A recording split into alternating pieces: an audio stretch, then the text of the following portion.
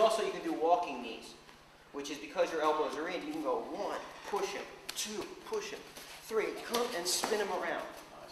When you spin him around, he doesn't know where, where the knees are coming from. Boom. Boom, and he can turn his head to the side and come up and smack him in the side of the head. So, you can always push him off and knee him. What you do on a, on a front body lock is what wrestlers call a wizard. Uh, let's, let me just stand here.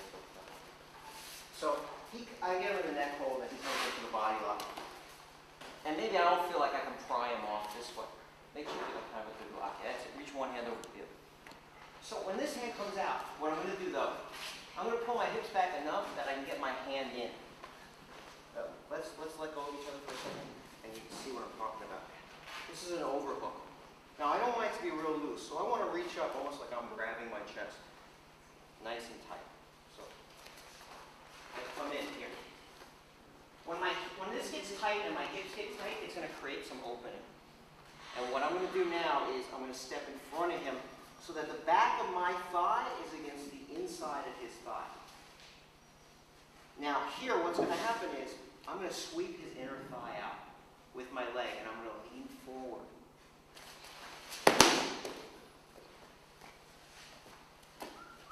In Shuai Jiao, they call this leaning forward the deuce. It's exactly the same motion. This is why it's very important in all Chinese wrestling to be able to put all your energy in one leg so that this is grounded and this kicks back. Now normally I'm going to actually do this into a kind of body lock. My head is going to be in the well of the neck. Now here again, I'm in that sideways kind of position. I can knee him and he can't knee me from here. Now from here, he may try to go backward.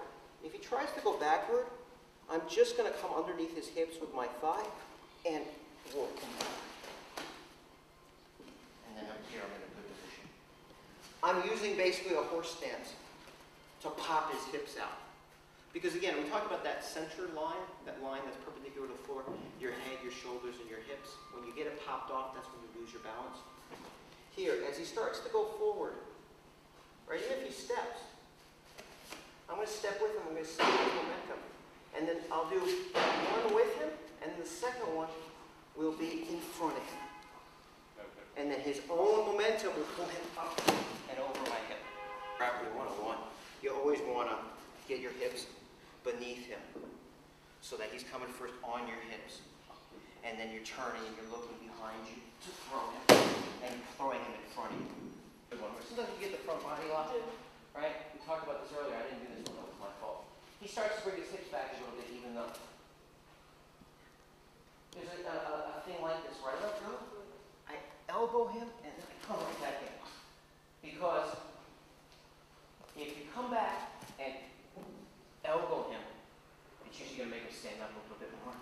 If you go crack, pop, and then you get the lock. It's the same idea. So here,